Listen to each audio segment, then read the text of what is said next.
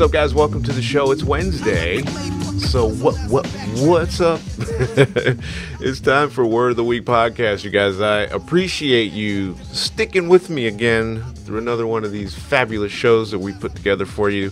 Um, yeah, it's hump day. So you're halfway there if you're in the workforce out there doing that 9 to 5 Monday through Friday thing. If you're uh, like myself as an artist, your week never ends, does it? So, um, thanks for tuning in. Uh, word of the week. What is word of the week this week? We're on video again this week. We might. We got a, a, a text, uh, a Twitter, a tweet request to do the shows on Facebook Live. Ooh, I don't know yet, guys. I don't really know how I feel about Facebook Live, and uh, it makes me nervous to do the shows live. I like to edit them, and we used to do the Sunday shows live.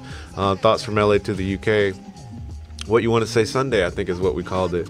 But um, at any rate, it was a bit difficult. Sometimes technology didn't like to play ball.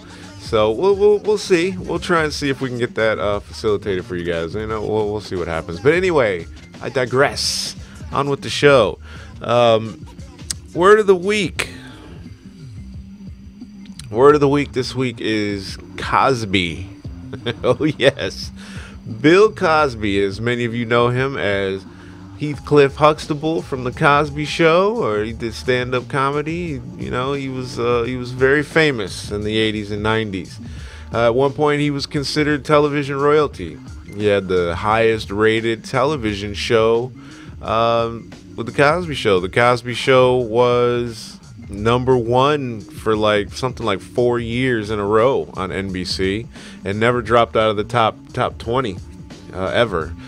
Um, he was also the highest paid actor at one point in the 80s. So, fast forward a few decades. we move forward a few decades. Now, we know a potential different, you know, side to the man known as the Cos.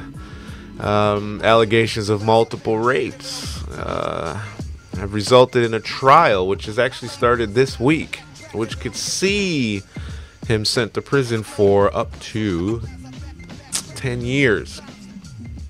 So, question that a lot of people are asking, and I'm seeing all these videos online. I was doing research today uh, to, to, to, finish up, the, you know, some bits and pieces about this story, and um, I, I, was I was seeing some seeing all this stuff online about it, and um, people are saying, why now? Why all of a sudden? Are we seeing all these rape allegations and all this stuff being brought to light now, right? So, um, I don't know. we even heard from former supermodel Janice Janice Dickinson claiming that she was raped in Lake Tahoe. She's got some sort of suit going in Los Angeles um, against Cosby. At least she did as of last year, claiming that he was saying that what she was saying was a lie. So, and anyway, uh, I get their safety in numbers, so maybe that's why so many of them are coming out now. They've all decided to come out. You know, one, two, three come out, and then you know whatever. So, all these, all of these that came forward, there are only I think it's three, maybe five that are being uh, considered as part of this this suit that's just started against him this this trial. Um, maybe the statute of limitations had run out. Um, lack of evidence. I don't know. So we're seeing that it was initially something like over 50, I think it was, or 50 people. Uh, that's a lot of people. that's a lot. Um, even if it was 20. And um, I saw this on, on a video and I thought it was interesting. The guy says, even if it's 20, that's a lot of people. And, and a lot of people don't seem to realize how many people 20 is. You know, you see, say 20, yeah, $20, 20, whatever. But this is how many people 20 are.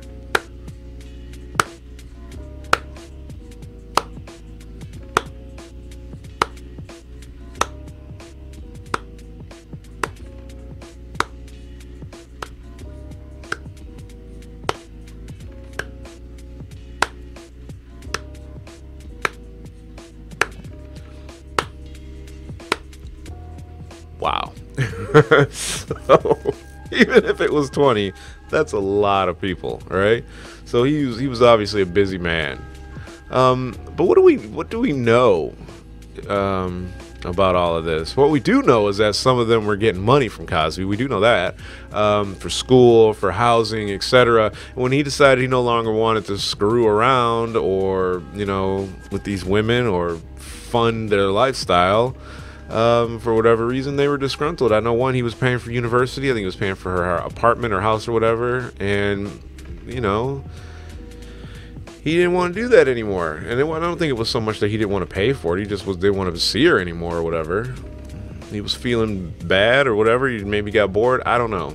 But she got upset about it and then went after him. So some people are, are are are claiming that a conspiracy is in the works. So let's look at that for a second. We had, like I said initially, 50 women that came forward claiming that Bill Cosby had raped them. Right. Um, now I appreciate the fact that Cosby is famous and has uh, he's lived almost twice as long as I have personally, but I doubt that most men even have sex with 50 women in their lifetime, famous or not let alone rape that many or sexually assault or whatever the, you know all the multiple charges were. Um, so yeah, I mean, whatever. So, how many of you guys out there in the world on planet Earth have ever heard of a man named Daniel Holtzclaw? I know before I started researching for this show, I hadn't heard of him. I hadn't heard of him at all. So think about the name. I'll give you a second. Daniel Holtzclaw. He was in the news. Um, he works for the public. He's from Oklahoma City. Still nothing. well, this man was sentenced to 263 years in prison for raping 13 black women. Okay?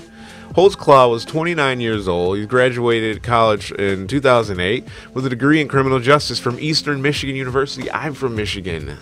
Ooh. He went to school there on a football scholarship. So he served on the Oklahoma City police force for about three years before being arrested and charged with sexual, uh, serial sexual abuse of women in the community he was assigned to protect. Shouldn't this be a major news story? Someone in the community is supposed to trust and respect. A man with a gun that can kill, and as currently we know, can get away with it in a court of law, right? Video or not. But I'm not here to talk about that. But you've never heard of him. Chances are you've never heard of this guy.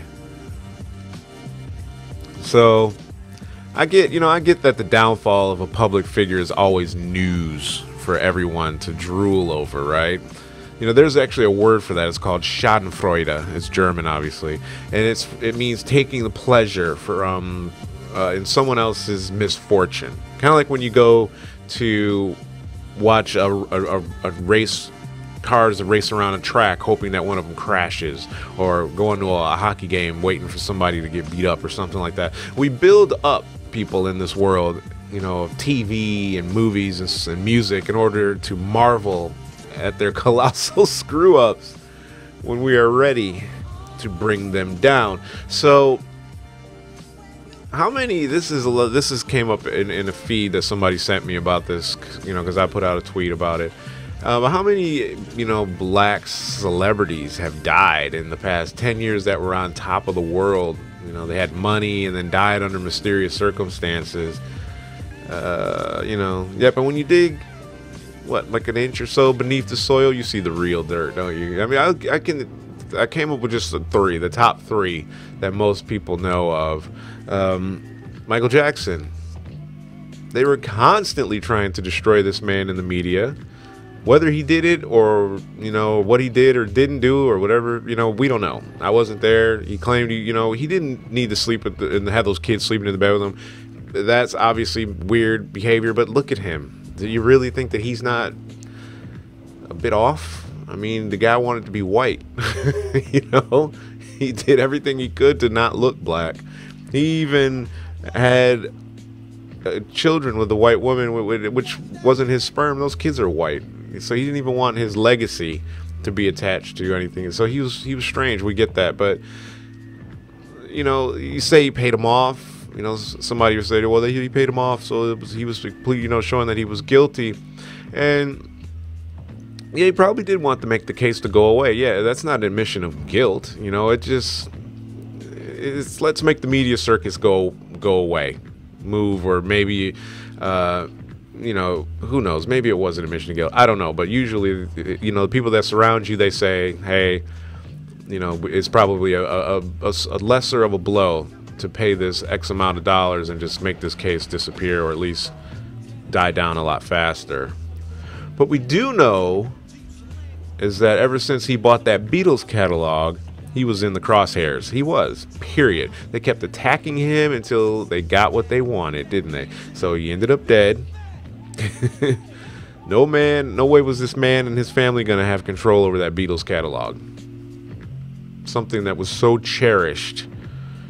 So they bought it back at a fraction of the price, fraction of its value and now it's it's in control again. So I wanted to do another show about music and how um, important the um, the music is to a certain part of, of society. Like what I'm in England now, right? And when I see how cherished the Beatles are, Led Zeppelin, Pink Floyd, um, you know, all these legendary bands.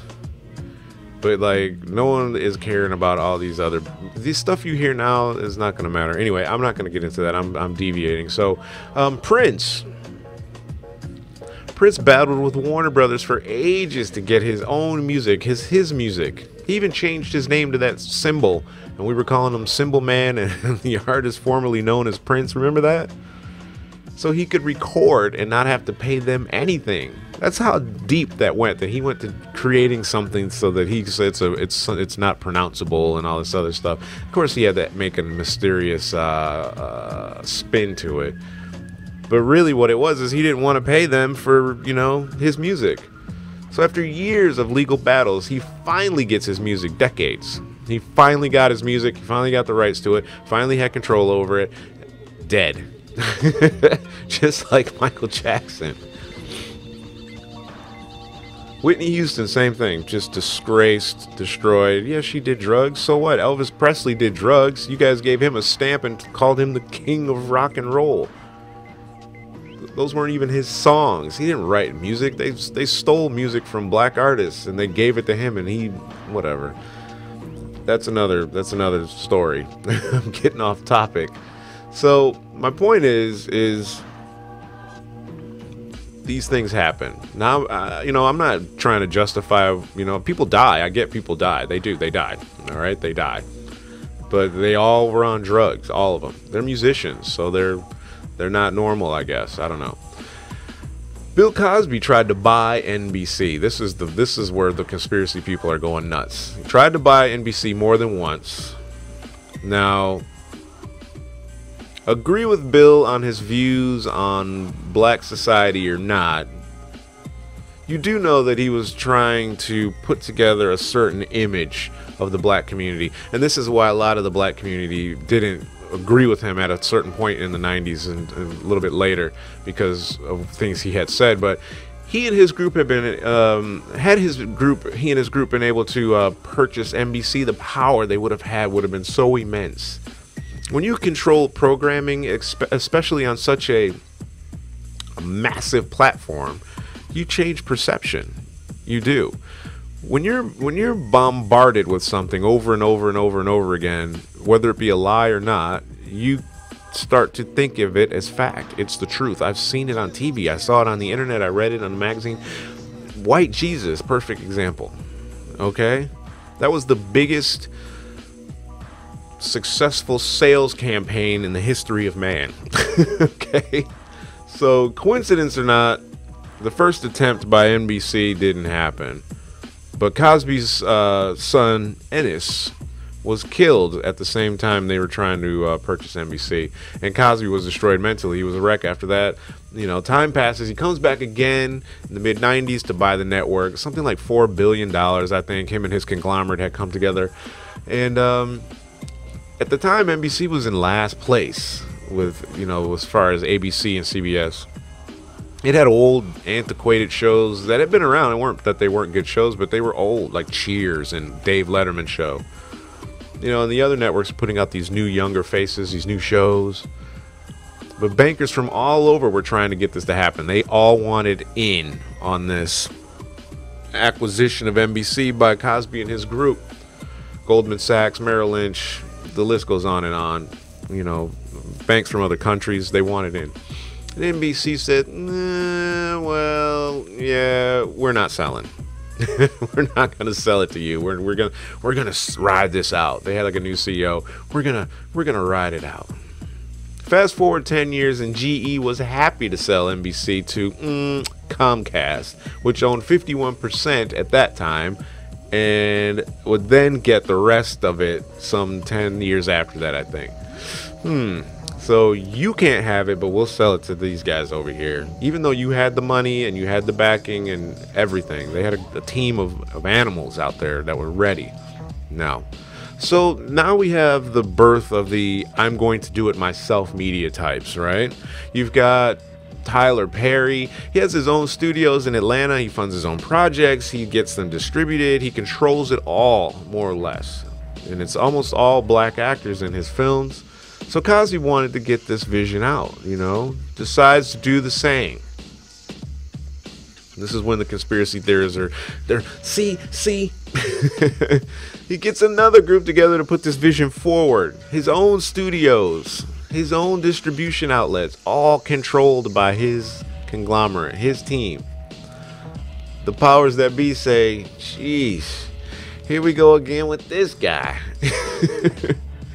How is it that no black person owns a network? No black person owns a radio station. No black person owns a magazine. No TV stations. Nothing. We had BET, but then Viacom came in and just gangstered that away. They took that away. And they were like, look, you either sell us this or you see what happens to your network.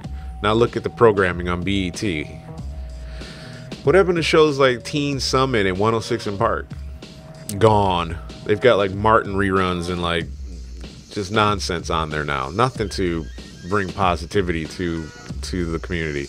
Now, I'm not saying that there aren't you know small you know little people that own magazines and but you they don't own stuff like People Time, uh, you know Newsweek. We don't own any of those big magazines. You don't own any major radio stations that you're listening to music to. You know, uh, those are all owned by white guys, mostly Jewish. And that's, again, this isn't about race today, but that's factual. Okay? We don't own Fox News. We don't own CBS. We don't own CNN. We don't own MSNBC. We don't own nothing. Nothing. Okay? We don't even own a football team, do we? I don't think we do. We own nothing. You're not allowed to sit at this table you can be at that table. Right, so this is going down the wrong road again. My apologies, I digress. Anyway, deviating from the point. So, now he wants to start his own projects. Out comes the evil, right? Now, like I said, please do not take you know what I'm saying is about racism or anything like that, uh, or what I'm saying as a denial of his actions. I don't know. I wasn't there. Neither were you, right? All, only people that were there were him and the, the women that are uh, accusing him, and the only one that knows his intentions are him. But we do know that something happened, and now he's on trial at age what 79, 80, 79. Not to suggest that he shouldn't he should get away with what he's done due to his age, but really, what good does it serve anyone to come forward now? Let's let's wreck this guy at 75 years old and make the last 10 years or so of his life just be hell. Destroy the legacy that is Cosby before he dies, which will likely be hastened due to such a stressful set of circumstances. Bill Clinton raped, wait, sorry, Bill Clinton sexually assaulted multiple women. They called it sexual assault when he did it, wasn't rape. He was elected president. Bill O'Reilly did a similar thing, you know, in more, more, more recent news. And they said, yeah, you know, we're going to have to let you go. Here's your 25 million severance. You know, you can go write books and do speaking engagements. why were these guys not burned at the stake like Cosby? I don't know. I don't understand why. They're all named Bill too. I bet that was a bit ironic. He was the third, third, uh, third time as a charm to get him. Anyway, can he even get a fair trial? Trial started this week. Today's Wednesday. Um, His trial is on its third day. I haven't read any of the news on it other than that his wife Camille was not there on the first day. Keshia Knight, Pulliam, uh, Rudy Huxtable was there, and so on and so forth. It doesn't matter. But is there anyone out there who has not heard something about this case and in doing so formulated some sort of opinion on the matter? There has to be very few people. I don't know. But what I do know is that the court of public opinion is a mother. Right? Several celebrities don't stand a chance. They just don't. I don't really know why you know, or where this will end up. I don't know where it will. I just I wonder why. Um, like I said, it's happening now. I guess we have to wait a few weeks to find out. The trial is estimated to last only about two weeks. Um, but my prediction is as such. I I I think if it's at all possible, it's going to be a settlement. He's going to have to pay loads and loads of money, and at this point in his life, you can't take it with you it doesn't matter. The damage is done. The damage is done to his reputation. So again, this goes back to the Michael Jackson thing. If you pay him, there's a set. It's gonna be an undisclosed amount or something like that. You know, people are gonna write books, especially after he dies. Um, eh, but if not, eh, one to three years in prison. Worst case, if he got the three years uh, with good behavior, he'll be out after a year. Paying the fine associated with the case was it twenty five thousand dollars or something like that. Um, they won't let him off. There's no way he's walking. Since OJ walked, no one walks.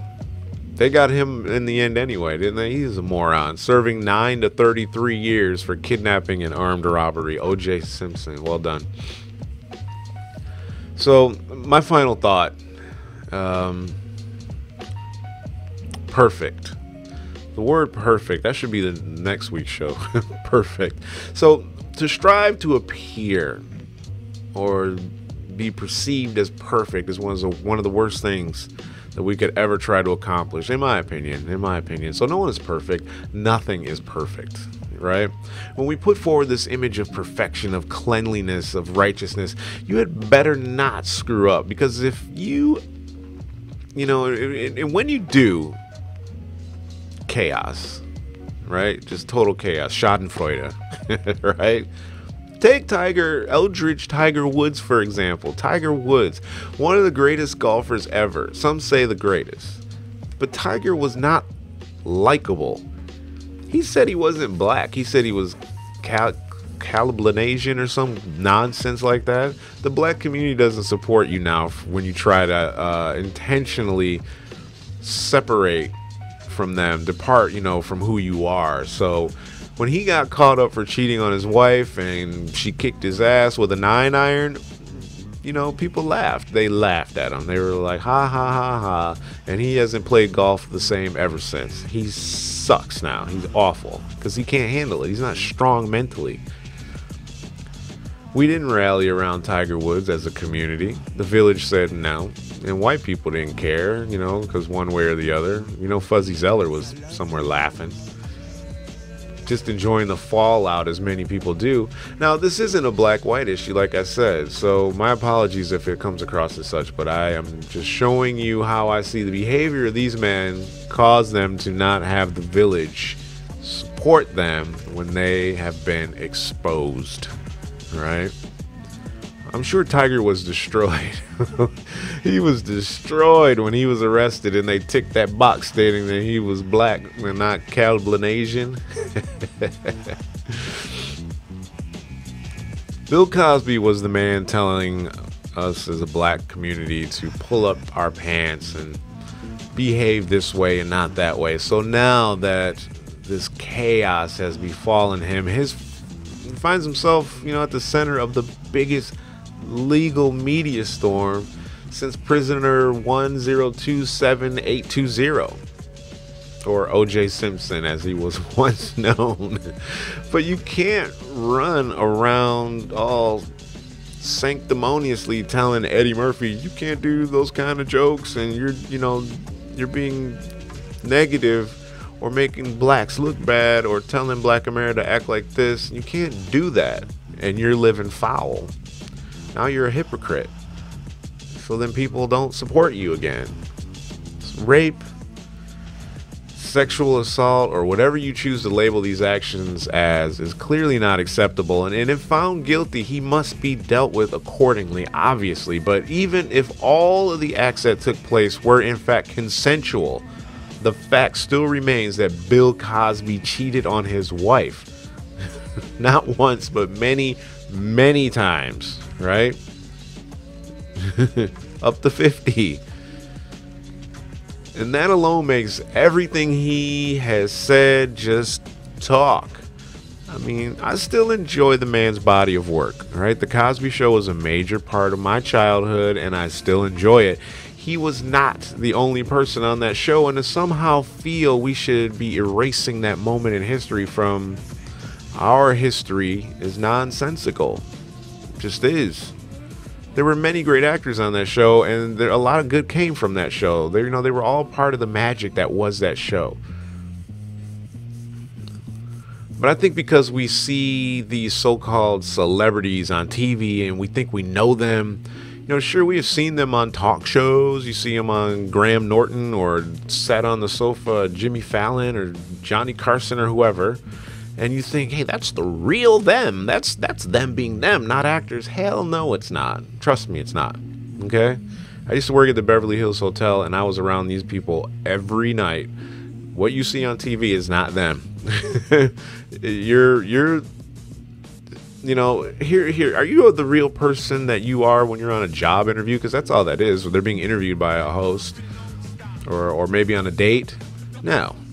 You're the best you your representative comes to the table and makes you look amazing, right? Then you go off stage or back to your car, and then the real you surfaces, right? It's it's it's all a front. It's all performance.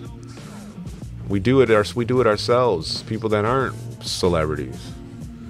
We have to stop idolizing these people. You know, we put on TV and film and music industry. They're just people like you and me. They just get paid a lot to make us laugh, dance, and cry. And when they behave in a manner that that's other than you know what we have come to expect of them, we take them down for not being what we feel they should be. You know, it, it happens every day. Otherwise, tabloids wouldn't exist. We wouldn't have TMZ. You wouldn't have the excitement of Bjork attacking a reporter who kept photographing her child and she was like, stop. And then loses her mind and goes nuts. We wouldn't get, you know, excited when Alec Baldwin, Baldwin calls his daughter a, a little pig or whatever he said. You know, how dare they behave like that? You behave like that too, a lot of you. So don't even act like you're somehow better than these people because you do the same stuff. You just hold them to a higher standard because you see them on TV. You think you think that they're these these gods or something. You don't know, and I know I don't know, but we don't know what it's like to be in the public eye every single day of your life for years or even decades if you're lucky enough to shine for that long. It takes its toll on your psyche, you guys, and we no longer remain who we are. We become these guarded individuals that live behind walls because our gift of self is raked and our privacy is raped. And that's all I got to say about it. so we'll see what happens with Bill Cosby. Uh, thanks for listening to the Word of the Week podcast. I'm Vaughn Joseph. Please subscribe to the channel, you guys, so that you can get the alerts when the new shows are out and you help us grow. We know who's listening, we know we can interact. You can email the show at info at v3tv.uk. Subscribe to the podcast on Podbean if you're on Podbean, iTunes. Um, you can find us on TuneIn. Is it, is it on TuneIn Radio yet? It was on before, but it got taken down or something. Um, Stitcher Radio, or I think it's called Deezer now. We're on there as well. Or you can go to www.v3tv.uk, you guys. You can sign up for the newsletter there, and we've got all kinds of shows there.